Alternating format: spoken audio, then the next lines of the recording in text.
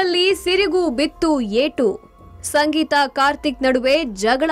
Big boss ಮನೆ ಇಂದು ಮತ್ತೊಂದು ಟಾಸ್ಕ್ಗೆ ಸಾಕ್ಷಿಯಾಗಿದೆ. ಒಬ್ಬರಿಗೊಬ್ಬರು ಕಾಲಿಗೆ ಹಗ್ಗ ಕಟ್ಕೊಂಡು ದೂರದಲ್ಲಿರುವ ಬಾಲ್ಗಳನ್ನ ತಮಗೆ ನೀಡಿರುವ ಬುಟ್ಟಿಗೆ ಹಾಕಬೇಕು. ಬಾಲ್ಗಳನ್ನ ಎದುರಾಳಿ ತಂಡದಿಂದಲೂ ಕಿತ್ಕೊಳ್ಬಹುದು ಎನ್ನುವ ನಿಯಮವೂ ಇತ್ತು. ಒಂದು ತಂಡದಲ್ಲಿ ಅವಿನಾಶ್ ಶೆಟ್ಟಿ, ಸ್ನೇಹಿತ್, ವಿನಯ್, ಸಂಗೀತ ಮತ್ತು ಮೈಕಲ್ ಇದ್ದಿದ್ರೆ. ಮತ್ತೊಂದು ತಂಡದಲ್ಲಿ ನಮ್ರತಾ, ಡ್ರೋನ್ ಪ್ರತಾಪ್, ಸಿರಿ, ವರ್ತೂರ್ ಸಂತೋಷ್ ಮತ್ತು ಪವಿ ಪೂವಪ್ಪ ಆಟವಾಡಲು ಸಜ್ಜಾಗಿದ್ರು. ಕಾರ್ತಿಕ್ ಮತ್ತು ತುಕಾಲಿ ಸಂತು ಉಸ್ತುವಾರಿ ತೆಗೆದುಕೊಂಡ್ರು. ಐದೈದು ಜನರ ಎರಡು ಗುಂಪುಗಳು ತಮ್ಮ ತಮ್ಮ ಸದಸ್ಯರ ಕಾಲುಗಳೊಂದಿಗೆ ತಮ್ಮ ಕಾಲು ಕಟ್ಕೊಳ್ಬೇಕು. ದೂರದಲ್ಲಿ ಇಡಲಾದ ಚೆಂಡುಗಳನ್ನ ತೆಗೆದುಕೊಳ್ಳಲು ಓಡಬೇಕು. ಒಬ್ಬರು ಚೆಂಡನ್ನ ಮತ್ತೊಬ್ಬರು ಕಸಿದುಕೊಳ್ಳಲು ಅವಕಾಶವಿದ್ದ ಕಾರಣದಿಂದಾಗಿ ಎರಡೂ ತಂಡಗಳ ನಡುವೆ ಕಿತ್ತಾಟ ನಡೆದಿದೆ.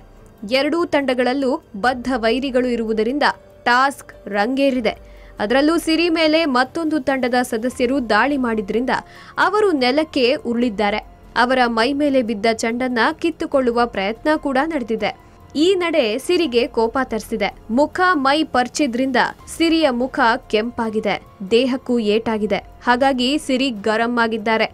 ಎದುರಾಳಿ ತಂಡಕ್ಕೆ ಉಗ್ದಿದ್ದಾರೆ. ಈ ತಂಡದ ನೇತೃತ್ವ ವಹಿಸಿದ್ದ ಕಾರ್ತಿಕ್ ಕೂಡ ಆಟದ ಬಗ್ಗೆ ಬೇಸರ ವ್ಯಕ್ತಪಡಿಸಿದ್ದಾರೆ.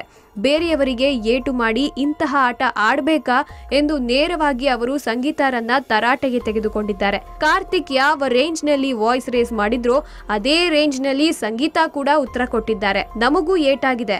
ಅವರಿಗಷ್ಟೇ ಅಲ್ಲ, ಇದು ಆಟವೆಂದಿದ್ದಾರೆ ಸಂಗೀತ. ನಿನ್ನೆಯಷ್ಟೇ ಬಲವಾದ ಏಟು ಮಾಡಿಕೊಂಡು ತನಿಷಾ ಮನೆಯಿಂದ ಹೊರಗೆ ನಡೆದಿದ್ದಾರೆ. ಇವತ್ತು ಸಿರಿಗೂ ಏಟಾಗಿದೆ. ಯಾವ ಪ್ರಮಾಣದಲ್ಲಿ ಏಟಾಗಿದೆ ಎನ್ನುವುದು ಗೊತ್ತಿಲ್ಲ.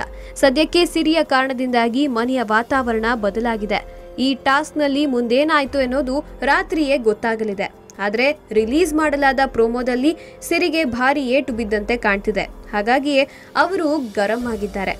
Digital desk public music.